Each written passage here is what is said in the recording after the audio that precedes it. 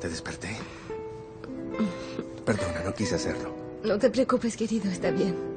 ¿Por qué llegas tan tarde, Mehmet? ¿Le pasó algo a la tía Gulsun? Contéstame, ¿qué pasó? Está bien, no te preocupes. Todo está bien con mi tía. Me dijo que irán a Isla Grande en unos días. Qué bueno, me asustaste. Dulces sueños. Que descanses.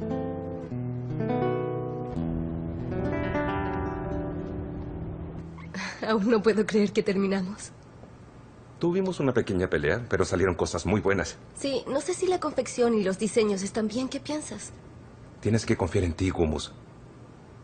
Eres una gran diseñadora, una con mucho talento.